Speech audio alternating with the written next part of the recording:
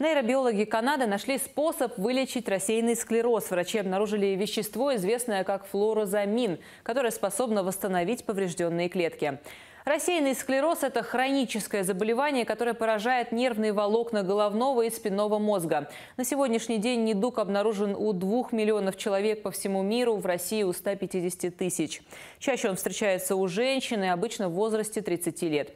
Но к основным признакам относят чрезмерную утомляемость, нарушение зрения, равновесия, ощущение слабости и тяжести в области ног, а также резкие перепады настроения. Причиной рассеянного склероза, склероза может стать сбой в работе иммунной системы человека, ну а также воспалительные процессы, нарушение кровообращения, проблемы с обменом веществ, возрастные изменения в организме.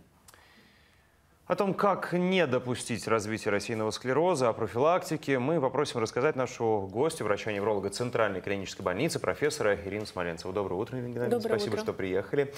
А, В принципе, Илона сейчас сказала, да, что является причинами. Вот э, все-таки так ли это и как э, не допустить, какова должна быть профилактика?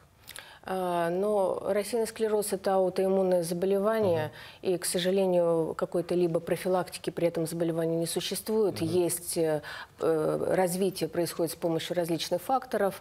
Это и генетическая предрасположенность, и э, вирусные частые инфекции, которые являются пусковым механизмом. Это особенности проживания а, в молодом возрасте, это холодный и влажный климат, это безбелковая диета, то есть другие, и другие дополнительные это факторы. Общем, все очень се- Да. достаточно серьезно. То есть вы сказали про генетическую предрасположенность. Это значит, что э, рассеянный склероз может передаваться по наследству? Ну, в какой-то степени да. Чтобы сказать, что это прям вот все семейные случаи, они редки, но генетическая предрасположенность есть. Мгм.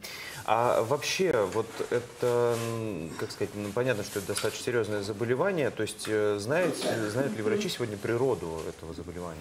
А, ну, природа а, достаточно сложна, потому что раньше... что, что происходит с нашим мозгом, что вот такой Происходит демиелинизация, то есть э, это гибель как раз вот миелина, которая э, вот у нас защищает клетку, и идет разрушение его, а с течением болезни присоединяется нейродегенеративный процесс, поэтому природа, она изучается до сих То пор. это, в общем, достаточно да, сложно. серьезно. Все, что связано с мозгом, Да, все, всё в очень сложно. непросто.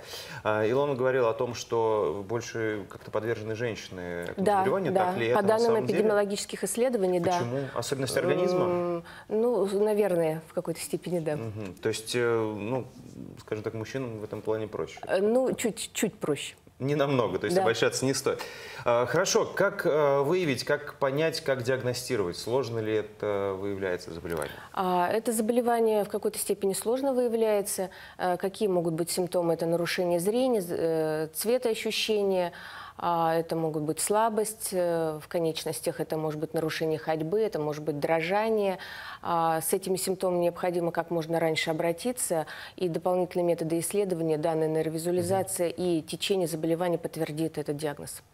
Ну, я так думаю, что какими-то народными средствами тут точно совершенно не Нет, поможешь. нет, это нет. очень Как всё можно серьезно. раньше обращаться нужно и начать лечить. И у меня еще к вам э, такой последний вопрос. Э, Существуют различные виды склероза, мы об этом знаем. Какой из них самый опасный и э, чем это все чревато? Ну вот, э, если мы говорим о рассеянном склерозе, он один. В, в неврологии, э, в общем, есть еще другое заболевание тоже, которое называется склероз, но это, ну, здесь э, вопрос так очень, ну, как бы менее корректный, потому что склероз, да, история. да, да.